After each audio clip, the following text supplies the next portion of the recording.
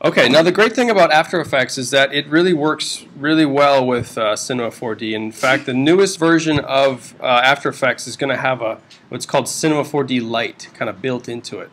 So the motion graphics industry is really pushing uh, hard, even the software developers, in incorporating these two softwares together. Um, so for our purposes, what I want us to do for the end of the semester is to everyone to create a basic reel, which is uh, you know putting your video projects, even your still projects that you've done together in one portfolio of uh, animated piece, and we'll compile all that together in After Effects.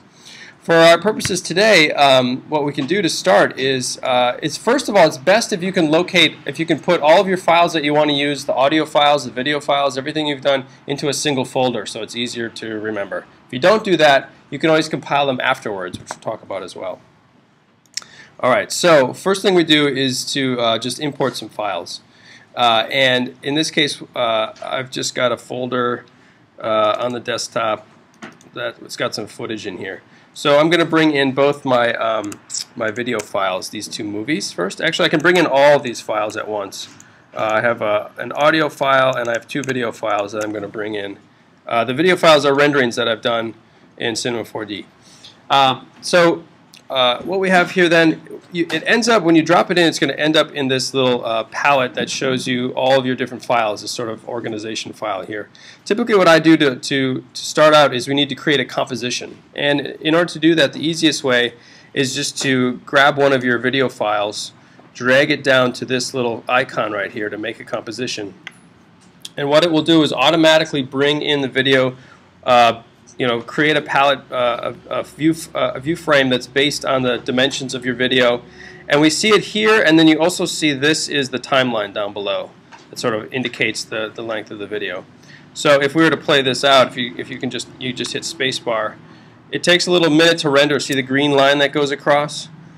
Uh, it's going to be rendering, and then it'll play at full speed after that. Now, uh, sometimes if you have really complicated video footage or very large video footage, it will play really slow and sort of choppy, okay? So what you can do, what I typically do is you can change the resolution right below here. So this is a resolution. Uh, you can do full, half, a third, a quarter.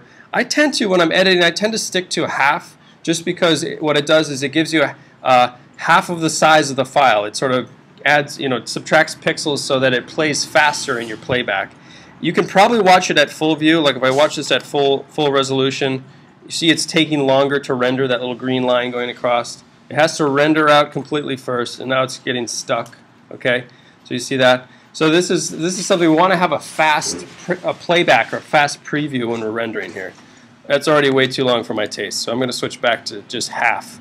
Okay, uh, and you can see that you can't. I mean, from your screen space, you you can see a little bit of resolution difference, but it's not enough to really distract. So um, half resolution plays great. Okay, so uh, now that I have that, I can bring in another file. Uh, hit spacebar again. So I have my logo uh, that I want at the beginning, and when you, you, you can just simply drag this down below as well. So and and just like uh, in Photoshop, um, the layers are organized in a hierarchy. So whatever's on top is going to play in, in front of whatever's below. So if I take this logo test, you see they're both oriented together right now. They start at the beginning together. If I put this logo test above it, then you see that's oriented first, right? So if I play this now, it's going to play my logo, and then when it gets to the end of that, it's going to be in the middle of that other animation, okay? So what we need to do here is just simply um, move this. So we're going to take this guy, and you can just click and drag it and move it over. And now you can see that see how the animation is changing because I'm moving it. You can see it sort of in that place. Just line it up with the other one so that when one of them stops, this one stops, the other one starts. Okay? So you, you're arranging a sequence of of your clips, just butting them back to back. But of course, they're not directly next to each other. You can layer them like this, sort of oriented one above the next. Okay? So when we play this out, it's just going to continue looping uh, for whatever you have in your in your previous scene. Okay. Now, uh, the other thing is that uh, right now it took, when I made a composition with that first movie, it took however many frames I had and it made that the length of the composition. So now that I've sort of dragged these next to each other to make a longer piece, I need to change the length of my composition. So I'm just going to go up to Composition and then um, Composition Settings. And here down below you can see the duration is uh, 6 seconds And I'm just going to change this to 10 seconds because that's what I want for my uh, that's for my video. Okay, and when you do this now, if I this little icon below, if you drag this, you can see a longer preview. You can see it goes all the way to 10 seconds, and I have a little bit of space left over at the end. Whatever, if you don't have anything filled in that space, it's just going to be black. Okay, so uh, and that's that's good sometimes. Sometimes we want to start out with black, fade into a video, and then fade back out to black again. So if there's nothing there, it's just going to be it's just going to be black. Um, I am recording, aren't I? Okay, sorry about that. I didn't see the icon above. Okay, so um, and then the last thing is that um, so you know I'd like to start with a little bit of black and then end with a little bit of black. So what you can do is you can actually select both of these. I'm going to select the logo movie and the other movie together just by hitting the Shift key. Select both of those, and you can just click them and drag them and move them. So I'm going to drag it kind of in the middle of my composition now. And here you can see at the beginning, I'm going to start with black. It's going to intro. Uh, it will play through my other part of the movie, and then uh, it should go to black again for a little bit uh, before the movie ends. It's going to take a minute to render, and there we go. Okay, so I give myself a little bit of buffer on either side that I can kind of manipulate those sort of forms. Okay, let's talk a little bit. So, that, so essentially, when you're arranging your clips, that's basically it. You're going to just kind of bring them into your composition, change the duration of the time, okay, and then arrange them accordingly, how you want them to, to be arranged, uh, just by simply moving them in order or stacking them accordingly, okay.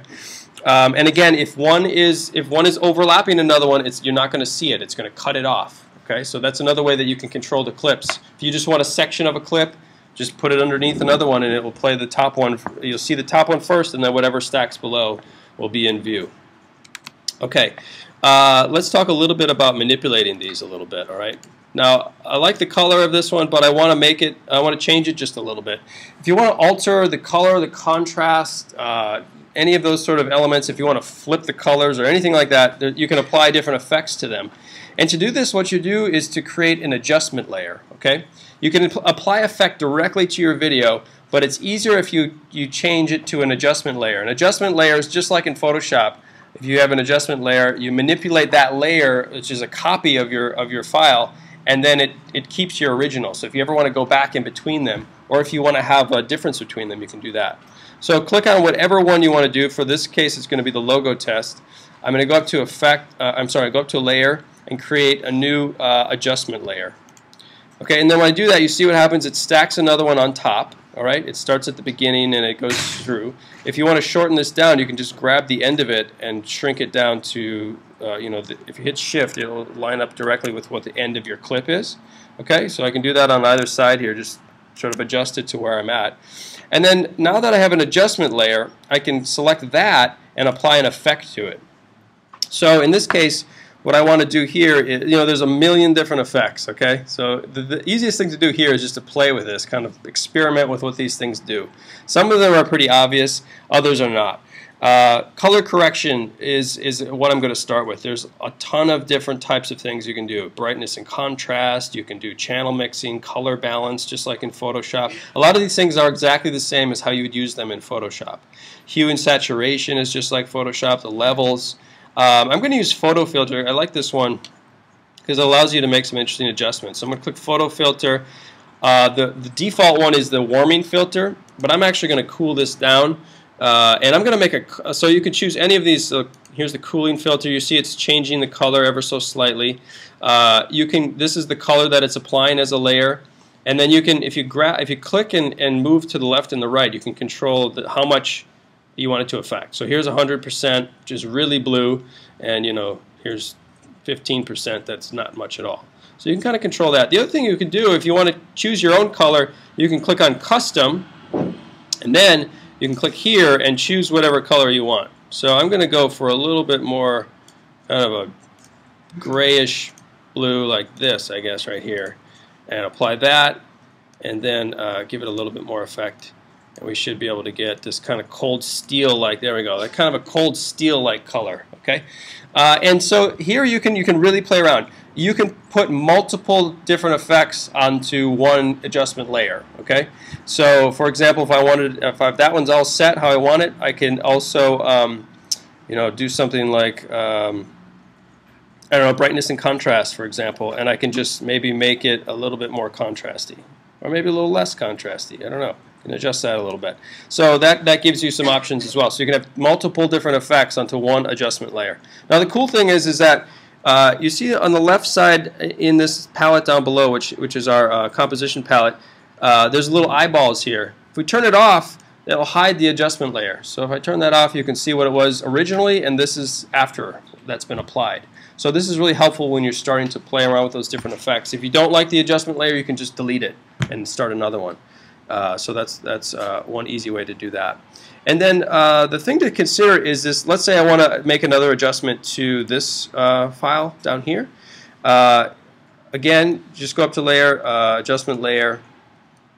I'm going to take this one and put it below.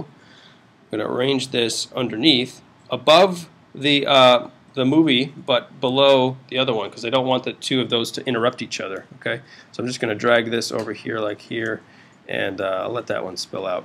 So in this case then I can, I can add another adjustment layer and again whatever effect you, you find is interesting uh, could be really appropriate. Um, let's see like we could invert it. How about that? There you go. Now we have uh, the, the colors like a negative image okay so that's kind of interesting. So um, so and you can play around with that. You can also control with like some of these you can really control how they blend together. Just click on these tabs to see.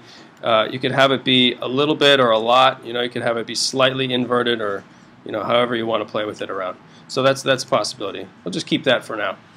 Um, okay, so now I've made some adjustments. I can play this out again to see how it looks. Uh, it looks kind of interesting. It looked a little bit better in its original state, but I'll leave it for, for our purposes today. Uh, so there we go. There's our, there's our animation, how we like it. Okay, the other thing we can do here is um, we can add some text. Uh, and uh, this is important. Uh, the two-dimensional text sometimes is, is really appropriate for these, these compositions, I think. So for example, if I wanted to create, um, I'd like to label these things right here. So for example, if I, if I wanted to add a text layer, all you do is go up to Layer, New, and then Text. And, uh, and then here you can just type whatever you want, wherever you want it. So here I'll just, I'm going to put this in, and uh, I want to make this black, I guess. Make the type black. There we go. Okay. I'll call this rigid body. I hear a lot of clicking. I hope you guys are paying attention out there. Um, there, I'll do that there, and then if I do another one, do another layer with text. Here we go, and I'll call this soft body. All right. Okay, so here's here's the two things that I want to happen. I want to label this is a rigid body. You know, remember the dynamics uh, simulation tabs that we did in Cinema 4D? So this one has a rigid body on it, and this one has a soft body. So it'll just be a way that I can label these things. And then uh, here what I can do is I can have these pop up at different, at different points. So this is the soft body. I'll have that one at the end, and I'll have the rigid body kind of at the beginning. All right. So and then you can arrange these things however you like. Um, if I hit play now, you can see it goes through my name. We get a start of that. Pops up rigid body, and then the other one pops up soft body. So I've labeled both of those. Okay. So and you can have the text kind of in, in any of those sort of places, any of those sort of forms. All right. Um, last thing that we can consider here is uh, the audio. Okay. Um, audio uh, is going to be um, basically the same sort of way. The only difference here, so you take the audio, you can just, I, so what I did is I just have a, a song that I had in my iTunes I copied and pasted it to the folder that I wanted to work in, so just put the MP3 in that file instead of trying to navigate through the, iPhone, the iTunes library. Uh, and, um, and I'm just going to drag this down below, okay? And what it's going to do is this, you can, you see there's a little uh, speaker here with audio. You can click that on and off to preview it or not. Uh, you can open it up and you can see um, the decibel level that you're working with. I'm just going to make this instead of zero, the default is 0 so it doesn't blow out your eardrums. I'm just going to make it 1. And then um, the waveform, if you want to manipulate the waveform, you can do that as well. You can apply audio effects to this waveform. So if anyone is uh, familiar with working with audio, uh, this would be a way that you can manipulate it there. I'm not going to do any manipulations today. I'm just going to keep this as simple as possible. But here the thing is, and again, you can layer audio You can control, you know, the levels. You can do all those sort of things, working back and forth. Uh, in order to preview the audio, though, we have to go up to this preview palette. Well, first of all, go to composition and uh, make sure that audio is checked on. Okay, and then the last thing is that we want to um, preview the audio. So if we go over here, this is a little uh, uh, preview palette. And in order to preview this, we need to select the RAM preview. The RAM preview is going to calculate everything, not just the video. If you hit the spacebar, you're just going to see the video pass. If you want to hear the audio and the video together, you have to click on the RAM preview. So if you click on this, it'll take a minute. It's going to calculate everything. It'll kind of speed through. And then we can hear the audio come in. Okay? And it's just going to kind of keep looping through. And it'll start again. Okay? So this is the, you can preview that, you can watch it through, you can make sure it's lined up correctly your spacing and agreement, and, uh, and that's pretty much it. So, uh, you know, that's a pretty easy way to, to bring in different footage, to layer in effects, to consider some 2D text, and then finally uh, bringing in some audio to sort of match it together. So your abstract animation needs to have the title of the piece somewhere in there. It can be 3D, 3D text or it could be 2D text. It needs to have audio. And if you're rendering out more than one clip, consider how you arrange these things together in your final edit. Okay? How do we do here? 16.